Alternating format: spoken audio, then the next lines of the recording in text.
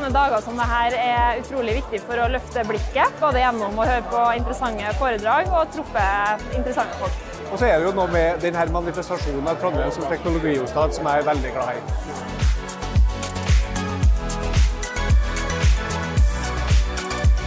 Her syder det. Her har vi verdensledende miljøer, vi har gründere, vi har kapitalmiljøer. Rett og slett alt vi trenger for å løse de store samfunnsutfordringene.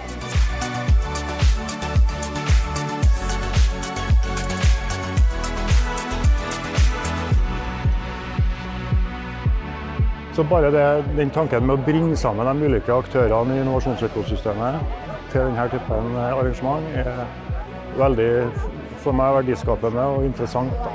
Og det er derfor en sånn ære, glede og fornøyelse å utrope Knut Eirik Alvestad